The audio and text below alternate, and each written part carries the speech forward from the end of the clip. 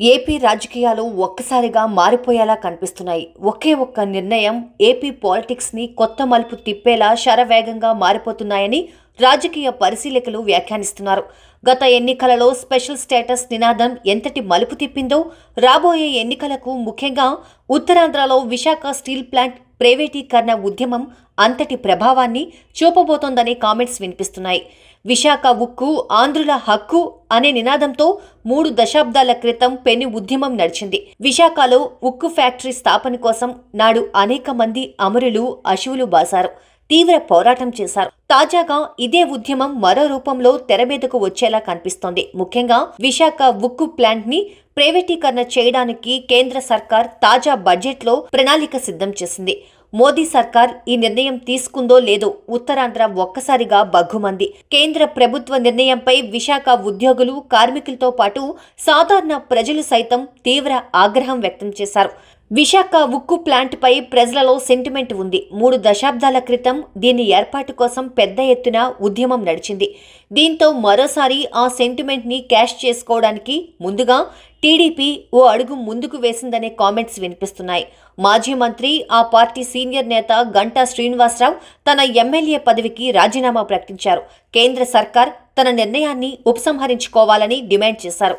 గంట రాజీనామాతో ఏపీ రాజకీయాలు శరవేగంగా మారిపోయేలా కనిపిస్తున్నాయి. గంటతో పాటు ఇతర టీడీపీ ఎమ్మెల్యేలు సైతం నేడో రేపో ఇదే రూట్ తీసుకునే ఛాన్సులు ఉన్నాయనే సంకేతాలు ఇప్పటికే వెలువడుతున్నాయి. ఇదే జరిగితే వైసీపీ నేతలు ఉక్కిరి బిక్కిరి అవడం టీడీపీ ఉచ్చులో పడడం గ్యారంటీ. విశాఖ ఉక్కు ఆంధ్రుల హక్కు ఉద్యమం తీవ్ర రూపం దాల్చితే అది ఓ సెంటిమెంట్లా మారడం గ్యారంటీ. ఇప్పటికే కేంద్ర సర్కారుపై జగన్ ప్రభుత్వం ఎలాంటి పోరాటం చేయడం లేదనే అభిప్రాయం ప్రజలలో బలంగా ఏర్పడింది. కేసుల మాఫీ కోసం జగన్ తన పోరాటాన్ని పక్కన పడేశారనే టీడీపీ ఆరోపిస్తోంది. ఈ ఆరోపణలతో పాటు లేటెస్ట్గా గంటా రాజీనామాతో విశాఖ ఉద్యమాన్ని నెత్తిన పెట్టుకోవాలని దాంతో ఉత్తరాంధ్రలో పడిపోయిన పార్టీకి ప్రభావం తీసుకురావాలని చంద్రబాబు తలపోస్తున్నారు. మూడు రాజధానుల నిర్ణయంతో టీడీపీ ఉత్తరాంధ్రలో బలహీనంగా మారిపోయింది. ఆ పార్టీ కంచుకోటలు బద్దలయ్యాయి. ఇటు పార్టీ పరంగా కూడా పోరాటం ఎలా చేయాలో తెలియక నిస్తేజంగా మారాయి. అందుకే టీడీపీ అధినాయకత్వం ఎంతో వ్యూహాత్మకంగా విశాఖ స్టీల్ ప్లాంట్ ఉద్యమాన్ని తలపెడుతున్నారని రాజకీయ పరిశీలకులు చెబుతోన్నమాట మరోవైపు టీడీపీ పోరాటం వేగంతో పాటు మరో ప్రజల నాడిని సైతం పట్టుకోవడానికి వైసీపీ రెడీ అవుతోందట.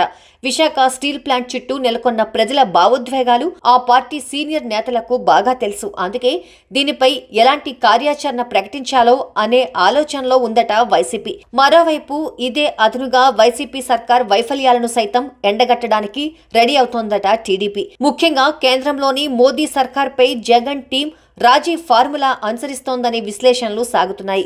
పోలవరం నిధులను కేంద్రం నుండి రప్పించడంలో విఫలం అయిందనే కామెంట్స్తో పాటు ప్రత్యేక హోదా ఉద్యమాన్ని పక్కన పెట్టిందనే విమర్శలు ఉన్నాయి.